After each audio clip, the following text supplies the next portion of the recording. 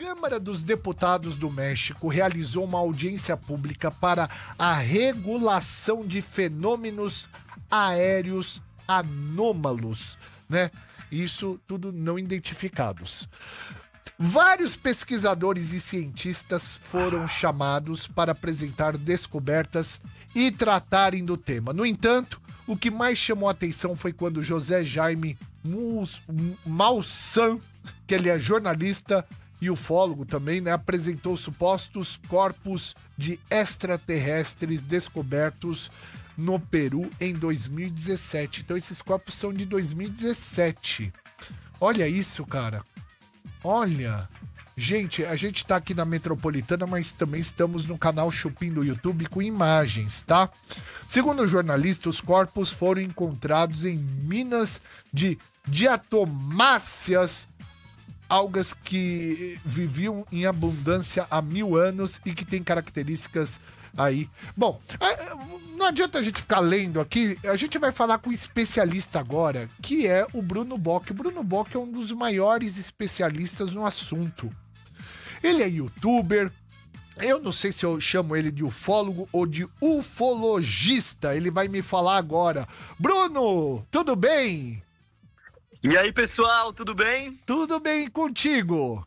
Tudo ótimo. Ô, então, Bruno, muito legal estar aqui. Obrigado pelo convite. Eu que agradeço você aqui, meu irmão. Cara, eu te chamo de ufólogo ou ufologista? Eu sempre me perco nisso. Cara, tanto faz, né? Porque assim, as pessoas conhecem tão pouco a ufologia e o estudo desses fenômenos e eu brinco, né? Eu falei hoje aqui nas redes sociais. Eu aposto que em pouco tempo todo mundo vai ser ufólogo. Todo mundo vai saber falar sobre isso e isso vai estar na boca de todo mundo.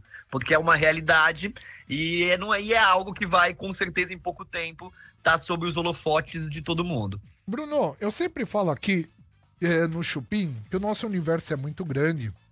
A gente tá só num pedacinho tão pequeno dele. E assim, as chances de ter vida fora da, daqui são muito grandes. É um percentual muito maior, matematicamente falando, né? Um percentual muito maior de ter do que não ter. E agora, é, no México, foi aberta duas, duas, duas urnas, né? Com dois restos mortais. Qual é a sua opinião? O que são, né? Esses restos mortais? É, você acredita ser é, extraterrestre fora da Terra, né? O termo extraterrestre fora da Terra? Ou você acha que não é? Qual é a tua opinião? Cara, eu que estudo ufologia, né, e os fenômenos não, de objetos não identificados, assim como a arqueufologia, né, esse fenômeno ele trata de arqueufologia, da presença extraterrestre no decorrer da nossa história.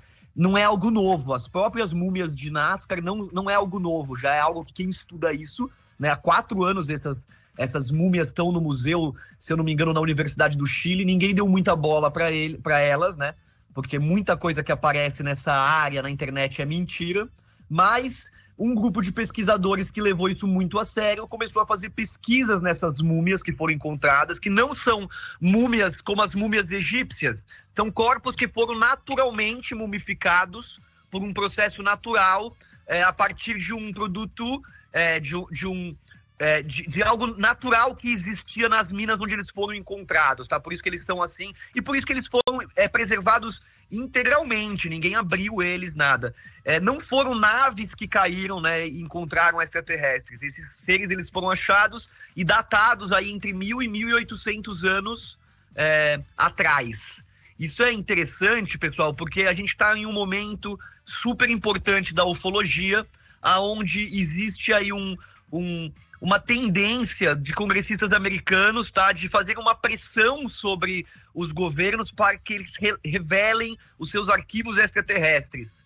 O, a NASA vai amanhã fazer um pronunciamento, tá? Porque eles se comprometeram a prestar conta sobre esse assunto pro, pro, pro, pro americano, né? Pro pagante, pro, pro, pro, pro cara que paga imposto, que pagou, gastou muito dinheiro americano em projetos secretos. Então, eles devem uma satisfação pro contribuinte, né? E o México já foi à frente e já falou: a gente tem aqui dois seres, fizemos todos os exames, estão à disposição dos cientistas agora na internet de radiografia, ultrassonografia, são seres com DNA não terrestre Isso que é muito interessante.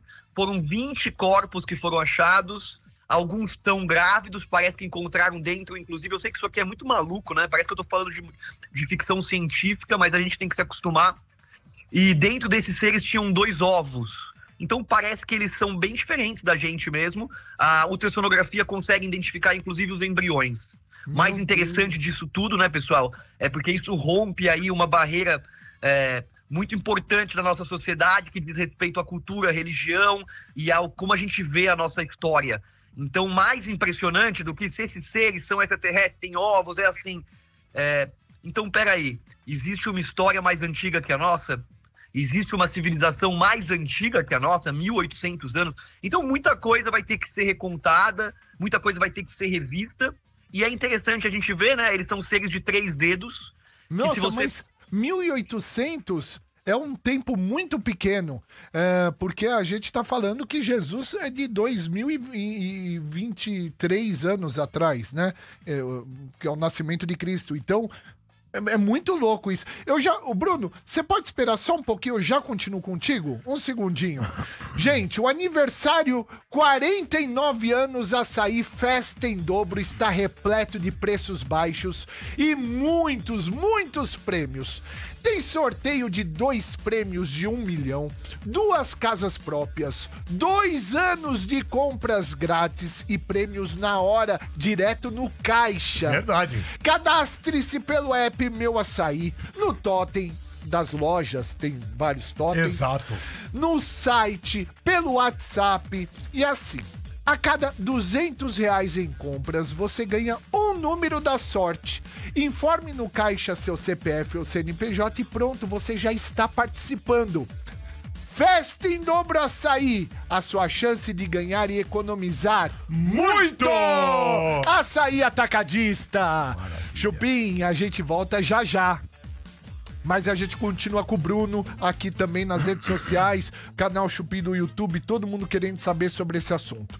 Bruno, é, você estava falando, então, eu vou recapitular. Você falou que esses seres é, têm um DNA diferente do nosso. O que você me assustou é com a data. De, né, de 1800. Uma data de 1800 é muito recente né? Se, eh, geralmente, quando se fala né, de datas antigas, desde Australopithecus, Pitecantropos, Homem de Neandertal, a evolução humana, né? Do, do que vem é, num primo do macaco, vamos chamar assim, a gente está falando de milhões de anos atrás. Milhões. Aí, de repente, mil, mil e oitocentos anos, isso me assustou um pouquinho, Bruno. Sim, não é o elo perdido que a gente descobriu, né? Muita gente pensa, então, é, que interessante, né? descobrimos o elo perdido, né?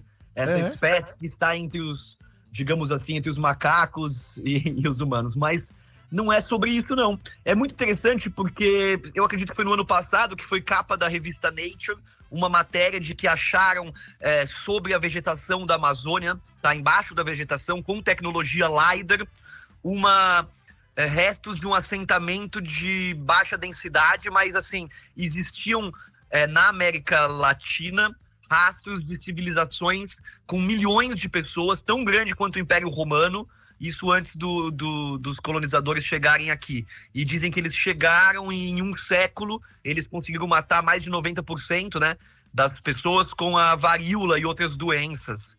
É, então é muito interessante porque a própria história da América Latina e dos povos pré-colombianos está sendo, sendo revista ultimamente, né? Então, o que estava acontecendo aqui no, nos continentes, né, nesses continentes da América Latina, nesse continente, perdão, antes da, da chegada do, dos homens é, america, é, europeus, né? Então, Sim. talvez existia uma civilização muito próspera aqui, muito grande, com conhecimentos. Eles acharam na Amazônia é, círculos e quadrados, formas que naquela época é, os europeus não sabiam fazer, né? For, é, com dois mil anos antes de Cristo, coisa bem interessante. Então, eu acho que está na hora da gente olhar para essa arqueologia e talvez rever isso.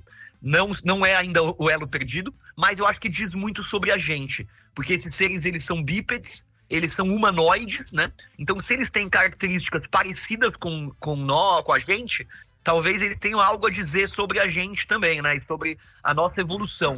Então, acho que essa é uma caixa de Pandora que está só abrindo. É, exatamente. Bruno, perguntando agora de uma forma bem rápida e bem particular para você, tá? É, vou te colocar em xeque mate aqui agora. Na sua opinião, são extraterrestres, sim ou não? Na minha opinião, são seres. Você vai agora achar um absurdo, tá? Interdimensionais, não exatamente extraterrestres. A tecnologia deles cruza o tempo e o espaço. E que estão nesse planeta há muito mais tempo que a gente. Na verdade, esse planeta talvez nem seja nosso. Hum. Então, essa é a minha humilde opinião. Tá? É, a história da ufologia é muito mais complexa do que seres que nos visitam, mas ela diz sobre uma tecnologia que foi suprimida há 80 anos, que está sendo suprimida, que faz com que os objetos voadores não identificados voem. E se os governos fazem tecnologia reversa, que é que a ufologia tem documentos sérios sobre isso, dessas naves há mais de 80 anos, existe uma tecnologia que está em poder de um pequeno grupo é, que é capaz de resolver muitos problemas nossos em questão de matriz energética, aquecimento global. Então, a coisa mais importante que as pessoas estão começando a se questionar é sobre o acobertamento e por que que isso, esse segredo, né, foi mantido por tantos anos. Tanta gente morreu e tanta gente foi descredibilizada para os extraterrestres ficarem em segredo. Bruno, eu queria agradecer demais aqui a, a sua participação, enriqueceu aqui a, o nosso programa. Muito obrigado. E amanhã, pronunciamento da NASA. Vamos ver o que, que, que, que os americanos, né, que são é, aquele filme, né, americano, né? Os caras são, quando eles falam aí para o mundo, né? Então a gente vai ver o que, que eles vão falar amanhã. É isso, né, Brunão? Tem muito de filme americano e de cultura pop nisso, porque é, por muito tempo foi parte da estratégia de acobertamento a ridicularização dessas, desses casos. Então a cultura pop se apropriou de alguma forma, eu sou especialista nisso, né? Então é muito interessante que os ETs, os extraterrestres, os casos, eles têm semelhanças com a ficção, a ficção copia a realidade e a realidade copia a ficção. Amanhã meu telefone vai tocar, quero ver, todo mundo vai estar me ligando e até o final do ano a gente vai ter muita novidade. Me sigam no Instagram, porque eu tô fazendo lá vídeo todo dia sobre ufologia. Qual que é o seu Instagram? Bruno Bock? Isso, arroba Bruno Bock. Arroba Bruno Bock. Antes de finalizar, Tutu ou Bartô, vocês têm alguma pergunta pro Bruno Bock? Eu só tenho uma curiosidade. É, ele diz que não são seres extraterrestres, são seres. Como é o nome, Bruno? Interdimensionais, é isso? E qual é a diferença, Isso. Bruno, entre ser um ser interdimensional ou, e um extraterrestre? Existe uma diferença nisso, não? É bem complexo. Existe sim uma diferença, porque quando a gente pensa um ser extraterrestre, buscar a vida nesse universo, existe uma consequência a partir dessa descoberta. O ser interdimensional está ligado mais com um conceito mais atual de interdimensionalidade, de linhas do tempo. Talvez possam ser seres no futuro querendo interferir no passado, quando você pensa que você vai viajar a um outro planeta, tá? Vamos dizer que a gente saia daqui e vá para o planeta mais próximo, vamos dizer para Alpha Centauri, 100 anos-luz daqui. A gente, na velocidade da luz, demora 100 anos, então é inviável. A tecnologia deles, que faz o buraco de minhoca, ultrapassa tempo e espaço. Então, eles podem estar em outros planetas em outro tempo. Quando você viaja pelo espaço, você vai ter que escolher localização e tempo, como de volta para o futuro. Então é interessante pensar nisso, que, né, que a nossa linha do tempo e a linha do tempo de outros planetas, através de uma viagem interdimensional com uma tecnologia muito avançada, tá? Ela faz com que a gente possa entrar em contato e viajar, por exemplo, com a vida que existiu em Marte. Olha. Isso aí explode a cabeça de todo mundo, né? É. É, mas a gente já viu muita coisa na ficção o McFly, né, e o Doc Brown, eles setam na máquina dele o ano que eles vão. E isso faz bastante sentido quando a gente vai pensar em uma viagem através do tempo e espaço. Muito bem. O Tutu quer fazer uma pergunta também. Eu queria saber, na verdade, se essa exibição que aconteceu no México, algo muito diferente do que a gente costuma ver, se é de fato uma pressão. Isso é para pressionar esse, esse pronunciamento que virá amanhã? Já é tido como uma, uma resposta ao que vem por aí? Eu acho que o, o médico ele quis se adiantar, mostrando que É, assim, ó, a gente foi o primeiro país a fazer a abertura, mostrar os corpos. Hum. Eu acho que a gente está na beirinha dos Estados Unidos também mostrar os corpos, né? Afinal, o David Grant, sobre juramento, falou branca agora faz pouco tempo que o governo americano possui corpos e naves. Então, o, os mexicanos já foram, se adiantaram com os corpos e com as pesquisas que eles têm, eu acho que é uma questão até política, serem os primeiros e sem a vanguarda nisso. É tipo eu, eu tô falando de ufologia de todo mundo pra é uma guerra por um anúncio. é, guerra por anúncio. É, uma guerra por um anúncio. Então amanhã chega a nave, é isso nos Estados Unidos, basicamente? Na boa. É. Eu não sei exatamente o que, que a, a, a NASA tá, ela, o que o Pentágono vai liberar. O que acontece é que os contratos que os denunciantes assinarem, as pessoas que têm informação, são contratos é, de confidencialidade que eles têm como punição à morte. São contratos como contratos de guerra, porque a gente está falando da segurança mundial, segurança nacional. Então, os congressistas americanos estão conseguindo um movimento onde essas pessoas têm anistia desses contratos. E a partir do momento que uma pessoa começa a vir à tona e vai falar, a gente vai abrir aí uma, uma, uma tampa onde muitos, muitas outras pessoas não terão medo de vir à tona falar, como hoje os pilotos não têm mais medo de falar que viram luzes e viram é, coisas estranhas. Há pouco tempo atrás o cara era desligado da companhia aérea, ou era um caso é, chamado de maluco, alguma coisa assim. Então, a gente está entendendo hoje que muita gente pagou com a vida, foi o que David Grant falou sobre juramento, que muita gente pagou com a vida para que essa história ficasse oculta. Então é, é, é uma história complexa, é política, é uma história é, bem, é, digamos assim, envolve muitas questões, envolve religião, envolve um monte de coisa. Dizem que o primeiro caso ufológico foi na Itália, então talvez o Vaticano tenha conhecimento disso também, também tenha corpos. Então vamos, vamos ver aí as cenas dos próximos capítulos, porque essa novela tá interessantíssima. Bruno, eu sabia. Você deve estar tá com tesão a respeito disso. Porque assim, você mexe com isso já. Então você, pô, você, você já vive a ufologia. E de repente esse momento tá acontecendo tudo isso, você deve estar tá com uma puta adrenalina dentro de você, né, mano? Eu esperei a minha vida toda, cara. Eu brinco, eu estudo isso e falo na internet disso há mais de 10 anos. E eu brinco, gente, um dia o telefone vai tocar, todo mundo me ligando, Bock, o que, que eu faço? Pra onde eu vou? Vou pra montanha? Quem são eles? É, o que, que eles fazem? E, cara, parece é, loucura, né? Mas a gente na ufologia, eu converso com os ufólogos, a gente estava vendo isso chegar. Não é tão novidade pra gente, mas é muito engraçado agora ver todo mundo sentindo o baque que a gente sentiu há 10 anos atrás, pesquisando isso, mas onde ninguém acreditava na gente, sabe? A gente sabia que essa realidade era possível, mas era algo muito difícil de conversar com as pessoas. Hoje estamos falando da mesma coisa e eu espero que esse papo em breve não seja mais papo de ufólogo, seja papo de cientista. Estou passando aqui o meu chapéu, né, para não ser mais papo de maluco e virar deixar os cientistas cuidarem disso aí, sem acobertamentos. Bruno, obrigado, meu irmão. Um abraço para você. Muito obrigado por enriquecer o nosso programa, tá bom? Cara, eu adoro você. Estava assistindo aqui dando muita risada. Obrigado, obrigado, Metropolitana. Tamo juntasso. Tamo juntasso, Brunão. Beijo, valeu.